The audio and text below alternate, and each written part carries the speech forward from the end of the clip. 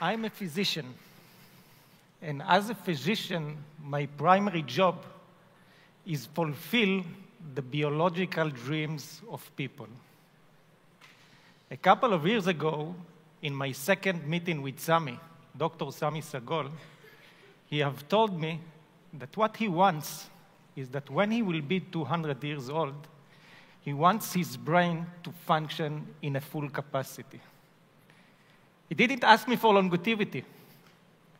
He asked me for a good biological function. He asked me for a good quality of life. And that is what we all want. When we're speaking about aging, at a certain point in our development, things are starting to go wrong. Organs start to deteriorate. If we are aiming to anti aging, what we are trying to do is to decrease this decline in the organ function.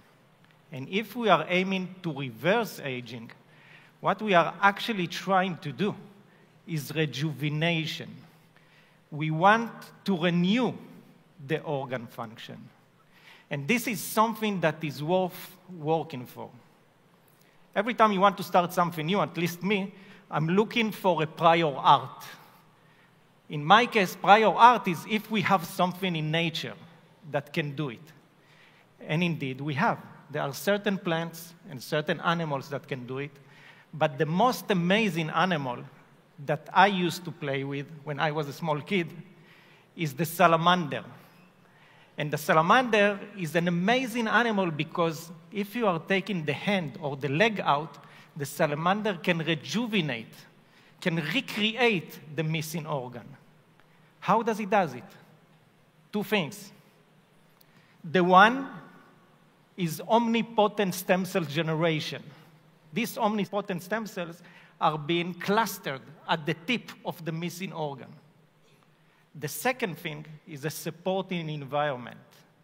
A supporting environment that can give the energy or the oxygen needed for the regenerative process. That's what we need to do.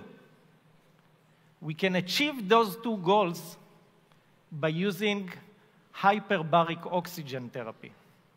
And when we are taking patient into the chamber and we are increasing in a certain protocol the blood concentration of the oxygen and then decreasing it slowly, what we are causing first by the decrease, we are creating the needed energy, the oxygen that is needed for the regenerative process.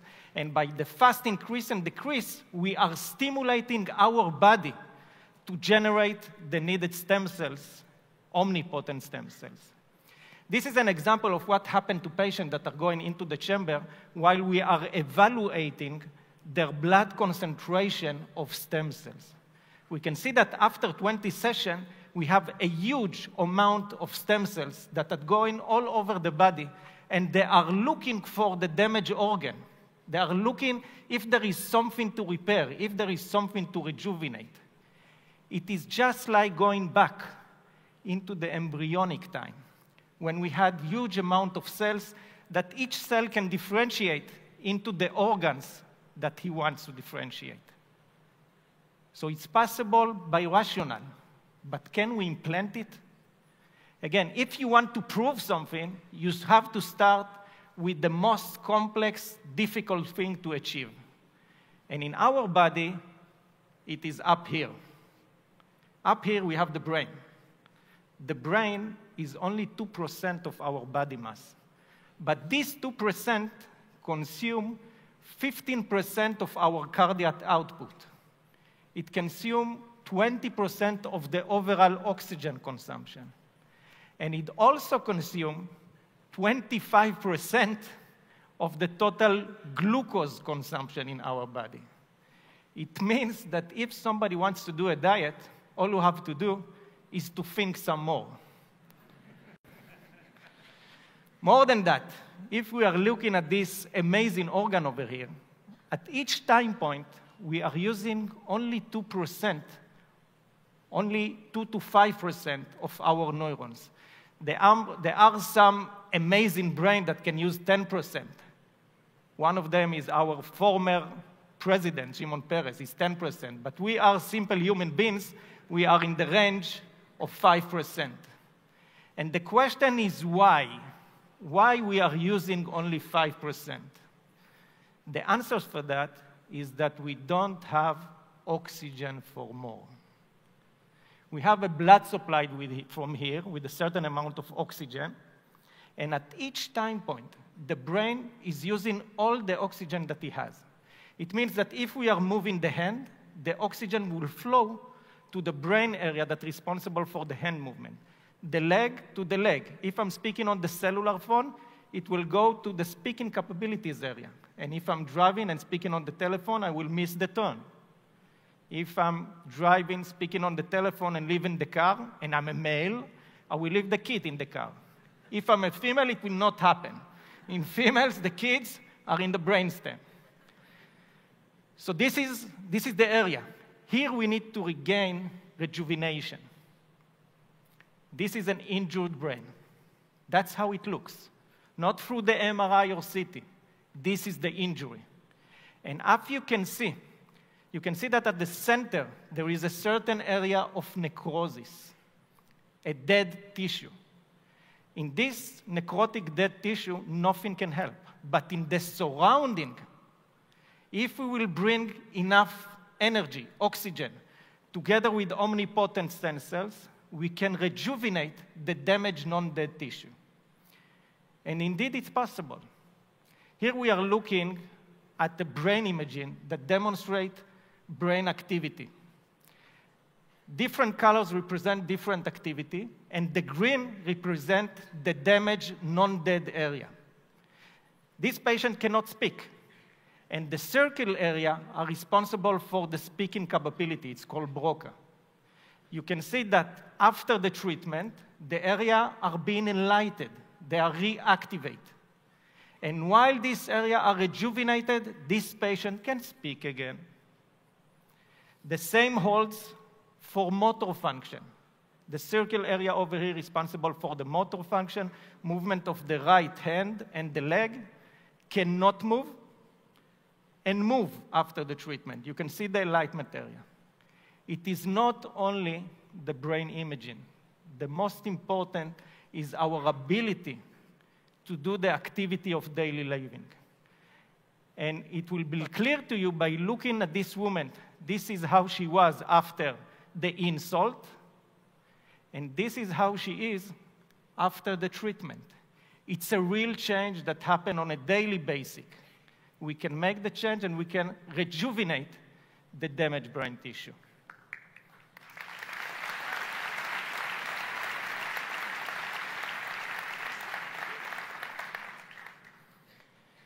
It's not only motor function, also cognitive function can improve the memory, the concentration, and things like that. But let's go back to aging. If we are looking at the aging brain in the MRI, we can see white patches scattered all over the brain. This is a normal aging brain. We can see it in everybody. And these small patches, the normal aging patches, are related to a decline in the cognitive function. Not patient, healthy men. And there is a wonderful work done in Krembil Neuroscience Center where they have took people, healthy people, 75 years or older, and they have done to them on a weekly basis MRI. And look what they have found. This is their MRI on a weekly basis, and suddenly you see light and spot over there. These light and spot are the so-called silent insult. The patient, it's not a patient, it's a healthy people. They don't feel anything. The only thing that happened to them is a slow decrease in cognitive function over time. They are not considered as a stroke patient. But this is the problem. This is what happened to us with age. It can happen to all of us.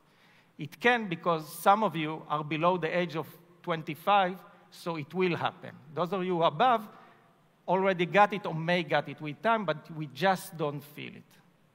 So in order to reverse, in order to rejuvenate the occluded blood vessels, what we need to do is to rejuvenate blood vessel. We, we need to generate new blood vessels. This is the so-called angiogenesis. And at this point of the lecture, you know from ahead what we need for rejuvenation. We need two things. We will need the omnipotent stem cells, and we will need the energy needed for the regenerative process, for the rejuvenation process. Both can be achieved with the hyperbaric oxygen therapy. This is an interesting example of one of the most respectable CEO in Israel. He's also an engineer. He came to me, set a meeting. He came to me and said, Shai, I need a treatment. I looked at him amazed. I said, Why the hell do you need a treatment? He said, I have a problem. I said, It's impossible. Look what you are doing. He said, No, I have a problem. I used to remember 20 numbers in a row, and now I can remember only 11. 11, it's huge amount for me, but for him, it was a significant decrease. So I said, okay, let's look at your brain. The upper row represent his baseline. And the bottom row represent what happened after the treatment. And the different colors represent different flow. You can see that there is much more red in the bottom line. And that means that we have a new blood flow. We have much more blood flow. It means that we have regenerate, rejuvenate blood vessels. And indeed, like we see over here, there is rejuvenation of blood vessels in the brain, and now he can remember again 20 numbers in a row, which is amazing. The same principle that we spoke on the brain holds for other organs. It can hold for the brain, it can hold for the kidney, for the bones, for the skin, and even, and it's not less important, for the sexual function that we have. During aging, the occlusion of the blood vessels happens not only in the brain and in the heart, it can happen also in the penis. And what you see over here, this is an MRI, and the MRI before and after treatment, and the color represent blood flow. Again, you can clearly see that there is a significant increase in blood flow after the treatment, and from somebody who have erectile dysfunction, his function has regained to normal. So we can do it. Rejuvenation is possible. And the most important thing for rejuvenation is to stimulate our own body to do the things that he knows best. He only forgot since he was a small embryo in the mother abdomen. We should remember that and we should stimulate the body again to do the two things to generate omnipotent stem cells and to bring enough energy to allow this process to occur. Thank you very much.